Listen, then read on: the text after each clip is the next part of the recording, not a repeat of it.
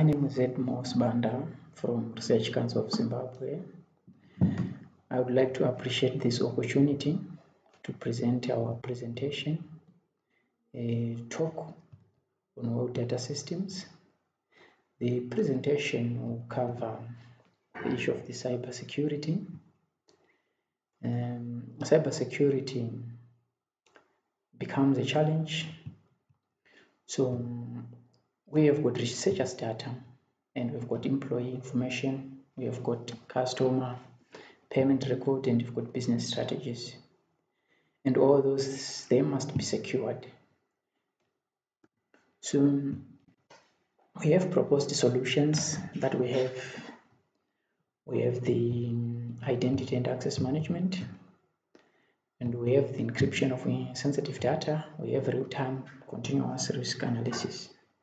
So this proposed solution uh, is the one that's needed to be catered for in order to to see through the aspect of the cyber security. So challenges uh, first with the Research Council of Zimbabwe is the cost to implement uh, the above solutions. The expertise, you know, in terms of expertise, we do not have uh, someone who's in charge of cybersecurity. Us as technical officers, we just do the general IT aspect. And we have got resistance to change. This aspect of resistance to change, you know, as technology continue to evolve day by day, we see this become a challenge, you know, to the staff, you know, even to the customers. If you introduce something, the customers will say, why have you introduced this? Again to the researchers, but um, they must be done so that uh, we are able to see through the cybersecurity aspect.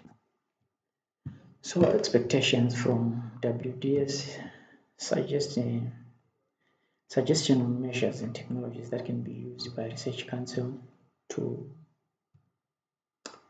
to fight or to protect researchers information. Uh, with that, I can say thank you.